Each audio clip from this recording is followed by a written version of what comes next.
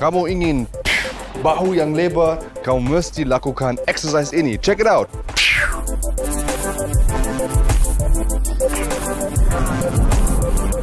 Yo, what's up fit people? Selamat datang kembali ke Tonight Fit bersama saya Bobby Ida.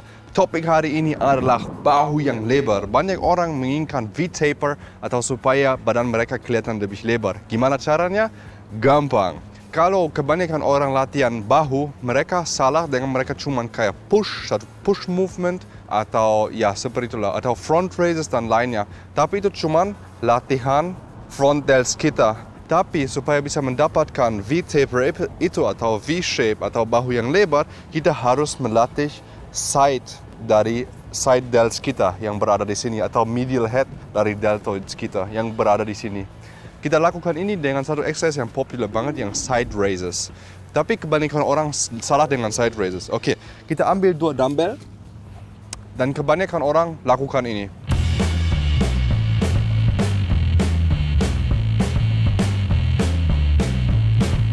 Mungkin buat kalian gak kelihatan salah, tapi tekniknya salah untuk mendapatkan side delts kita. Kebanyakan dari itu tadi aktivitaskan traps kita yang berada di sini.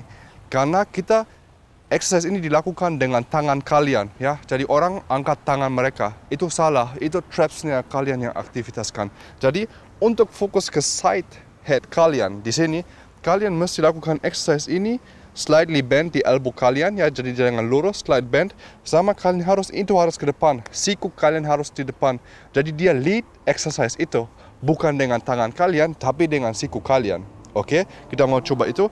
Jadi exercise kelihatan tiba-tiba begini slide bend oke? Okay?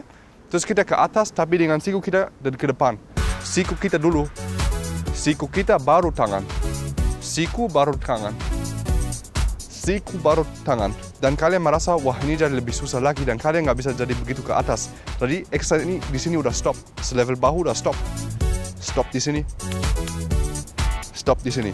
Oke okay, guys trik yang pertama siku kalian harus lebih dahulu daripada tangan kalian ke atas sekarang tip yang kedua salah satu fungsi dari bahu kalian adalah twist tangan kalian jadi kita mau lakukan itu kita nggak cuma mau dengan siku tapi kita mau twist tangan kita ke atas. Jadi pinky kalian yang ini harus ke atas. Oke? Okay? So, kita mau lakukan ini. Jadi, ingat slide bend di elbow. Kita mau lakukan ini dengan siku kita dan di atas kita pinky ke atas. Ke bawah lagi, stop di sini, slightly bend, atas, siku, siku, siku, pinky ke atas. Sekali lagi, ke atas, siku dulu, baru pinky. Nah, di sini. Sini. Satu lagi, atas, pinky. Oke, ini tip yang kedua. Tip yang ketiga yang paling penting adalah teknik. Ya, kebanyakan orang juga salah dan mereka mereka lakukan ini.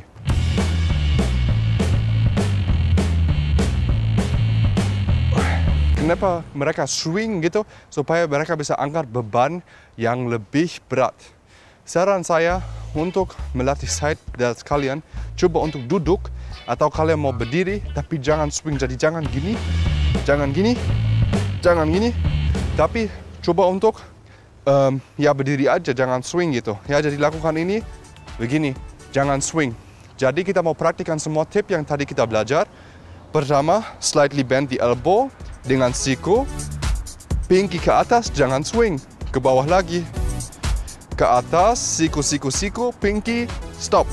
Ke bawah, kita nggak swing sama badan kita. Ke atas. Ke atas.